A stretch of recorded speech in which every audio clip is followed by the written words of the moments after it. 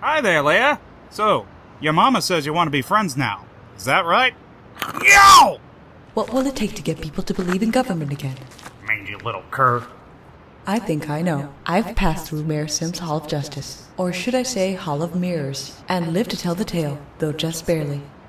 I saw for myself how one warped man's vision can twist the system and erode the public trust, can make the little people feel littler still. Fellow citizens, a bullet has silenced my voice, so I'll need your help to send a loud and clear message to City Hall. Ah, uh, so, uh, let's all stomp. No, stamp! Let's stamp out injustice. Let's stamp out corruption. Let's boot out Mayor Sims! And let's get the hell out of here. Hey, that was some speech Walter wrote. Give me a break, Hickey. As you just heard, spokeswoman Anna Hamill announces Walter has declared his candidacy for the office of mayor. However, today's small turnout has this reporter wondering can popularity translate into votes for this much admired man? The election is less than two months away. Madonna couldn't scare up the votes to win in that time frame. I told him that since Walter has scared Councilman Wilson out of the race, this is actually good news. And Sims said? He pointed out that he's been mayor for 12 years, and I've only been deputy mayor for two. Experience is the best teacher, yada yada yada. Anyway, he's nervous about this election. Actually, he sounded angry. Quite angry. He does have a bit of a self control problem. Think I got all the pickles. Well, some of those names he called you. I just hope your political future hasn't been endangered. Ah, don't worry about me, babe. I never do.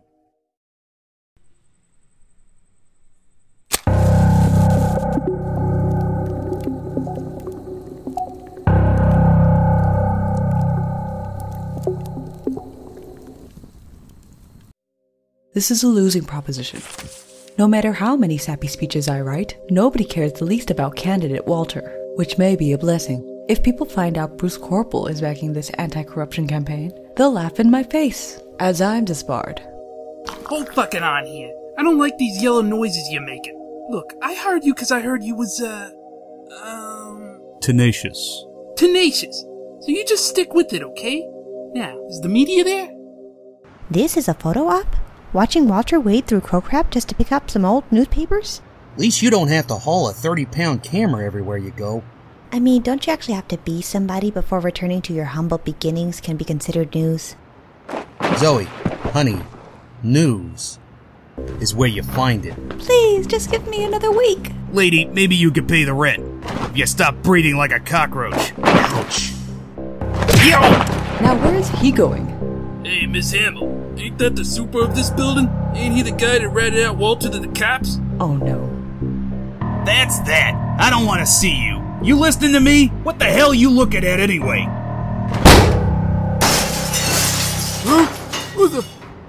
Walter, listen to me.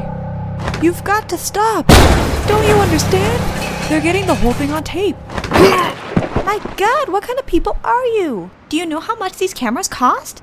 Is that all you can think about? Your camera? If I were you, I'd be a bit more worried about what's inside the camera.